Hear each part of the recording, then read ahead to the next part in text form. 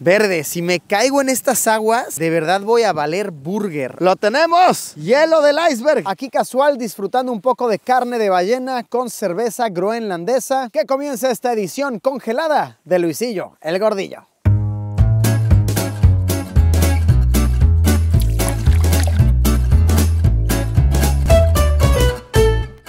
Bienvenidos, bienvenidas a una edición más de Luisillo, el Gordillo. En esta ocasión nos encontramos en Groenlandia, uno de los territorios más aislados, más helados. Cerca del 80% de su superficie es puro hielo y se nota, vean esto, estamos rodeados de icebergs. Navegando en este momento por el Ártico, tratando de pescar algo para después cocinar y devorar. Las personas aquí comen carnes que en otras partes del mundo resultan muy extrañas como ballena, foca, narwhal, buey de las nieves, etcétera, etcétera. Entonces sin duda tenemos una gran aventura comelona esperándonos. Pues venga, que comience esta edición congelada de Luisillo el Gordillo. Vamos a darle.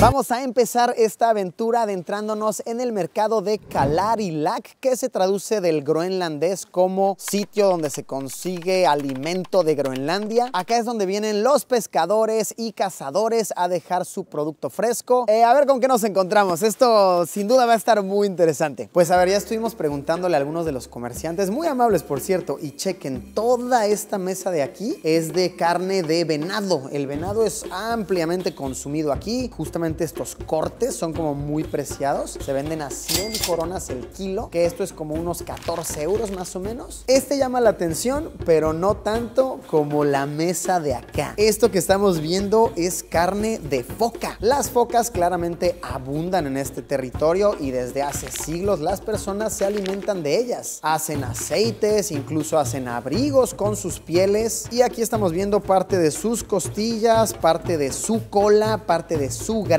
Justo esto de aquí es grasita de cola. Y la carne de foca me dice que es eh, de hecho muy costeable aquí en, Groenlandia. Se venden 60 coronas el kilo. Pues sí, ¿verdad? En otras partes sería una carne muy exótica. Aquí es como lo más cotidiano. Y esta ave de aquí resulta impactante por cómo las tienen expuestas. que lo prepare la abuelita, ¿no? El guisado de pato de nieve con un toque de foca, aceite de ballena una auténtica delicia groenlandesa. Ah, wow, y según la fecha te pueden vender carne de morsa, de buey de nieve y hasta de oso polar. ¡Oh, lo borgo! ¿Será que encontraremos en estas fechas carne de oso polar? Ya veremos, tal vez podamos probarla. Y bueno, de ahí por supuesto muchísimos cortes de pescado. De hecho, la pescadería aquí es como la actividad económica principal. ¿Qué tal? ¿Así se ve un mercado típico en Groenlandia? Ahora sí, a degustar.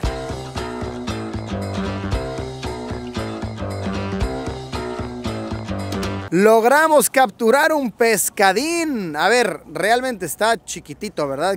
en estas aguas navegan pescados de metros y metros de largo. Entonces lo vamos a dejar ir. Adiós, pescadito bello. Que te vaya bien. Pues la industria número uno en Groenlandia es la pesca, entre la pesca y la cacería. Entonces ahorita estamos intentando pescar algo mientras navegamos por el Ártico. No, no, es que vean esto, estamos rodeados de icebergs. Entonces a ver si logramos atrapar algo para poder cocinarlo. ¡Ah, memen! Así de rápido otro. Igual chiquitito, ¿ok? Pero al parecer no es tan difícil, ¿eh? Porque lo, lo aventamos sin carnada ni nada. Es verdaderamente sorprendente. Aunque a ver, obviamente aquí para nuestro guía que es un cazador pro. Esto es un chiste, ¿ok? Esa es una broma, pero, pero yo todo brother de ciudad estoy, pero wow, pescamos algo en el Ártico. oh. Oh, no, ese no sobrevivió. Pero miren, nada se desperdicia, ¿eh? O sea, se lo van a comer o focas o otro pez más grande. Sí, no, no, nada se desperdicia, ¿eh? La cacería es una actividad primordial para la economía de Groenlandia. Justo el guía con el que venimos es cazador de focas y nos está contando cómo le hacen. Básicamente es con un rifle o con una escopeta. Esperas a que la cabecita de la foca salga y ¡pam! Le disparas así mero en el agua o esperas a que salgan algún iceberg. ¡Ay! Eso estuvo ruidoso, estuvo fuerte. Una vez que le disparas, lo que se hace es que la arponeas, la perforas con un gancho, ya sea de una aleta o de la cola, y cotidianamente se amarra la parte trasera de la lancha y se arrastra hasta tierra firme porque jalarla y ponerla encima de la lancha sería mucho peso. Y ya luego esa carne se aprovecha al máximo. Y a ver, realmente aquí las focas abundan, hay muchísimas, muchísimas. Y para cazarlas, si eres de etnia inuit, puedes hacerlo libremente. Si no eres inuit, necesitas tramitar un permiso especial. Y sí, es algo sumamente cotidiano y con un rifle de este calibre.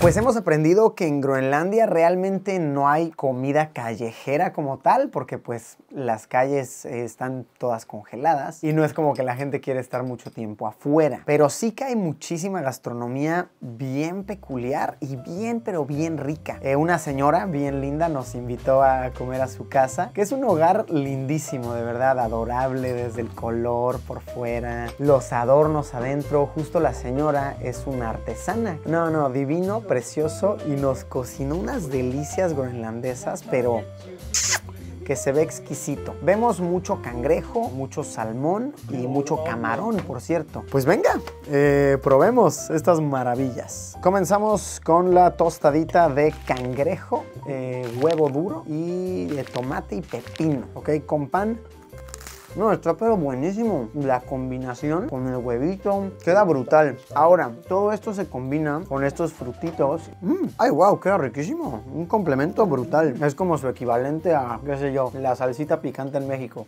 que se lo ponen a todo, esos frutitos ricos. Vamos con el panquecito de cangrejo, camarón, frutitos, pepino y tomate. Estos se hornean, ¿ok? Está, está muy cool. Es como si fuera así como un, como un cupcakecito, como un panque.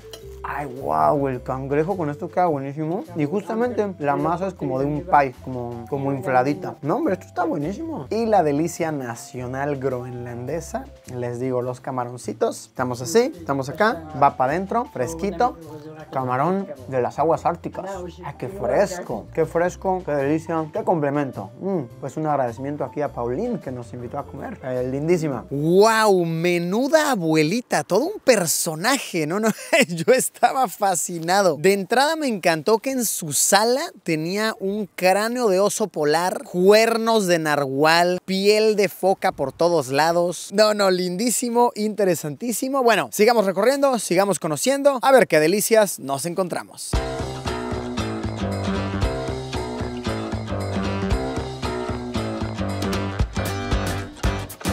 En plena expedición por la nieve, ahora probaremos carne de ballena. Esto está loquísimo, así nuestro guía de repente nos dijo, ¿tienen hambre? Y sacó este platón y nos dijo, tenemos acá unos pescaditos y tantita carnita y ballena. Lo que vamos a probar va a ser carne de ballena minke, se le llama, que es una ballena, sí, grandota. Suelen exceder los 15, 20 metros. Así como también probaremos su grasa. Y tenemos, chequen esto, carne de narwhal. Si saben lo que es un narwhal? Son estos conocidos como los unicornios del océano, que son como delfines con un cuernote. Miren que es interesante pensar que tan cotidianamente se coman estos animales aquí, pero por lo que he aprendido no es una cuestión así muy muy fácil. Si se necesita un permiso especial de pescador, se necesita ir a zonas que estén controladas, donde se verifique que no estén escasas estas especies y pues ya es algo cultural de muchos, muchísimos años. Pues venga, eh, empecemos con la carne de la ballena minke.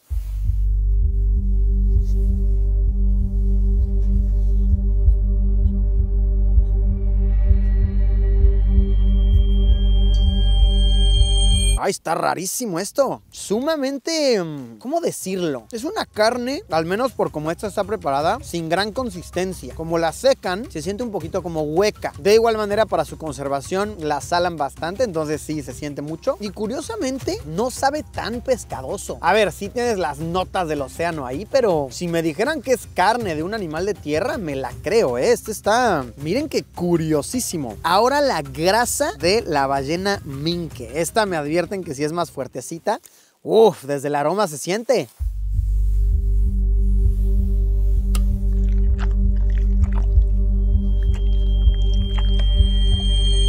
Ay, no. Uy, no. Uf, ay, cañón. Uf, esta estaba fatal, ¿eh? Bien dura, bien difícil de masticar y sí, bien pescadoso. Ay, si no, la, la grasa, la verdad, no, no me encantó. Me dicen aquí que si lo mezclo con, con este pescado seco, va a saber más rico. Híjole, tengo mis dudas. Ahí está. ¡Ay, caramba! ¡Wow! No, mejoró bastante. Como que si no es tu principal y simplemente es el topeo encima de otra. Ok, entiendo como que humedece la sequedad del, del, pescado deshidratado. Y bueno, vamos con el que más curiosidad me da, la carne de narwhal. Nunca pensé comer carne de unicornio marino, pero Luisillo el gordillo me ha llevado a probar mis límites. Venga, carnita de narwhal. Esta es bastante insípida así lo voy a definir. Sí sabe como a... Mm, híjole, no me sabe a nada, de verdad. Muy ligeramente a pescadito. El corte, como me lo dieron, es como suavecito, como grasosito. Este evidentemente no le echaron pero nada de sal, ni de condimento, ni nada. Sí sabe a... Mm, híjole, ¿cómo lo defino? Más o menos como a un pescado blanco rebajado, así. Agarras un pescado blanco, le, le bajas el sabor y listo. Ese es como... a eso me, me sabe. Curiosísimo, ¿eh? Pues miren, no nos quedamos con la curiosidad. Nadie nos puede venir a decir a qué sabe el unicornio de mar y a qué sabe la ballena minke. Y para bajar esos fuertes sabores unicorniosos, ballenosos, una chelita, ¿ok? Me dieron esta chela local que se llama Kayabishwak una lager producción local, ¿ok? Ay, qué perra delicia, ¿no? es que una buena chela de verdad, aunque estés pasando mucho, mucho frío, se recibe sabroso, ¿no? Y te calienta de maneras misteriosas. Salucita, aquí de parte de Luisillo el Borrachillo, desde los territorios congelados de Groenlandia. Nunca está de más una intervención de Luisillo el borrachillo. Vean acá nuestro guía, el buen Jan. Nos trajo un whisky, ¿ok? Y vamos a agarrar hielo directo del Ártico, del que se desprende de los icebergs, para enfriarlo. el whisky más épico que me he tomado en mi vida. Ahí está, ya tenemos nuestro guante acá de cirujano. Meramente para no mojarme del todo la mano y no helarme. Verde, si me caigo en estas aguas, de verdad voy a valer burger. Ok, venga, ok, ahí va, venga. ¡Eh! Tengo uno. Lo agitamos para que el agua salada se le caiga. Venga. Ahí está. Va para adentro.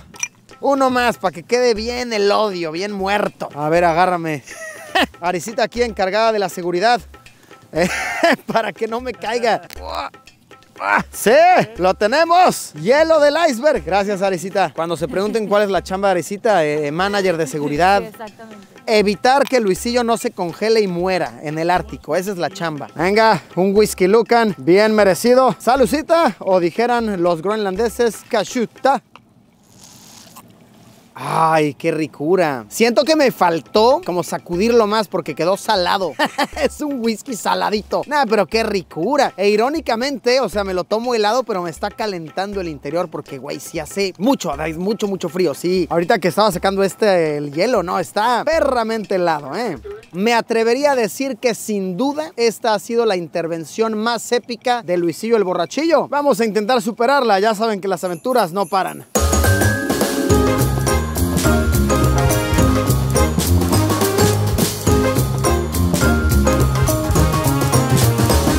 Nos tocó estar presentes para la feria navideña del pueblo y todos están aquí, ¿ok? Por supuesto es techado porque hace demasiado frío afuera, entonces aquí vamos a poder probar algunas delicias. Me dicen que muchas de ellas son danesas más que groenlandesas, pero pues bueno, está toda la mezcla de, culturas, entonces a ver qué comen en una feria por aquí. A ver qué tal estos pastelitos, se llaman Ebleskiv. Estos se sirven con mermelada y con eh, azúcar glass. A ver qué tal el Ebleskiv recién horneado aquí hasta así, calientito.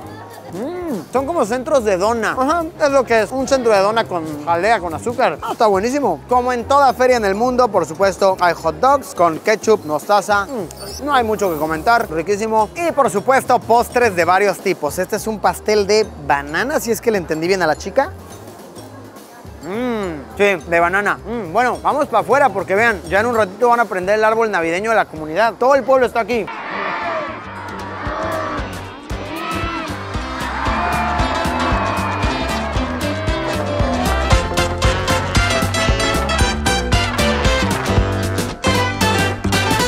Así se da por comenzada la Navidad desde Groenlandia. Feliz Navidad a todos, a todas. Les mando un abrazo enorme. Los quiero, los quiero mucho. Gracias por estar un año más conmigo aquí en el canal. Pásensela increíble con sus seres queridos. Nos vemos como siempre, ya lo saben, en unos días con un video nuevo. Adiós o como dijeran por aquí, tacos.